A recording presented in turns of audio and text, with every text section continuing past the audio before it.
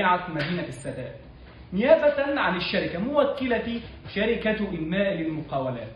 سأتولى أولا سرد ملخص لوقائع النزاع القائم بين الطرفين ثم أعرض لشرح الدفوع الإجرائية على حين يستكمل زميلي مصطفى محمد سرد الدفوع الموضوعية والطلبات النهائية.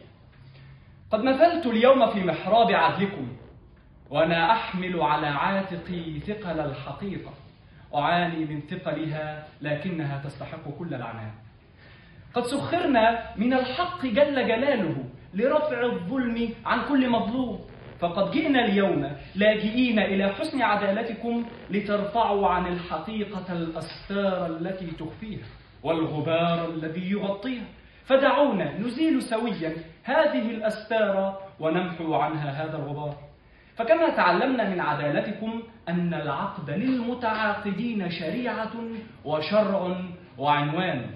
فبداية فإن سبب تواجدنا اليوم في محراب عدلكم هو تلقي الشركة موكلة شركة إنماء للمقاولات طلبا للتحكيم من شركة مسارات لتجهيز الملاعب بالتاريخ الخامس والعشرون من أغسطس للعام 2023 وكان ذلك بناء على شرط التحكيم المدرج في العقد المبرم بين الطرفين.